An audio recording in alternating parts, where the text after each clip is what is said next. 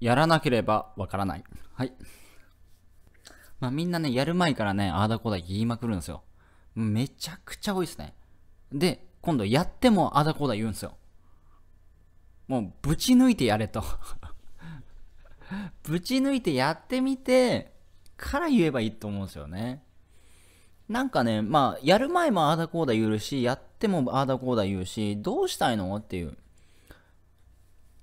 いや、あの、目的地に行きたいんだったら、頑張って行けよって話なんで、それ以外ないじゃないですか。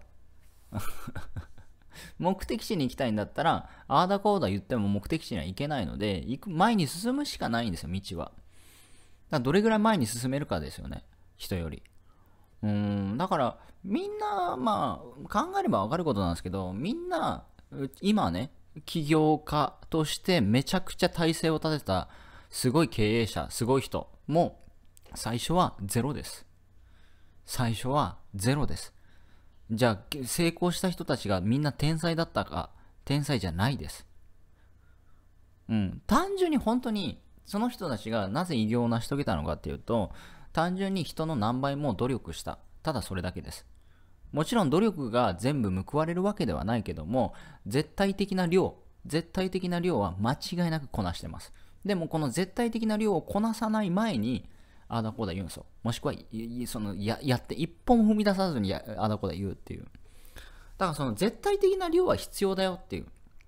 例えば、日本語の言語を覚えるに覚えるにも、絶対的な、あの、聞くっていう量がないときつくないですか？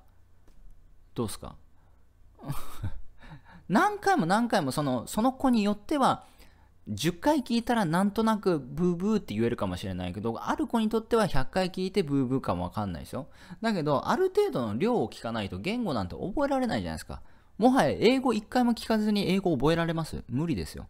英語1回も聞かず英語喋れますか？無理です。だから、絶対的な量はあります。だからこの絶対的な量っていうのは人それぞれまちまちなんで、それをまずやれと。やってからね、うーん、やればいいんじゃないかなと思いますね。で、絶対的な量っていうのが、プロ基準の絶対的な量にしてほしいですね。プロ基準。プロ基準の量で、なんか、久保先生、塾長、一回素振りして、一回素振りしてもしんどいんです、みたいな。バカ野郎みたいな。バカチンガーみたいな。なんか、今日一日一本アップしました。頑張りました。みたいなね。バカ野郎みたいな。打席にね、1回立って素振っただけで あと2回ありますからね、最低でも。三、三振しないとダメでしょ？ね。あと三振、あと2回振んないと、最低でも。ぐらいの、なんか、欲しいっすよね。だけどみんなそれができないからできる人だけが成功します。つまり、やれば成功するんですよ。ある一定は。な別にね、宇宙ステーション作れとかね、ロケット作れとかね、電気自動車作れとか言ってるわけじゃないわけですよ。それは、まあそれを成し遂げた人もいるわけなんだけども、別にそこほど難しくないですからね。電気自動車、今からテスラモーター車作れます？無理でしょ。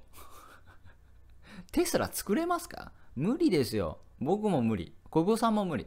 努力しても無理、無理なもんは無理だと思います。さすがに。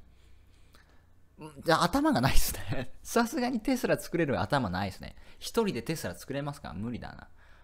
だけど、一人でね、カメラに向かって喋ることは、久保さんも僕もできるんです。みんなもできます。いってらっしゃい。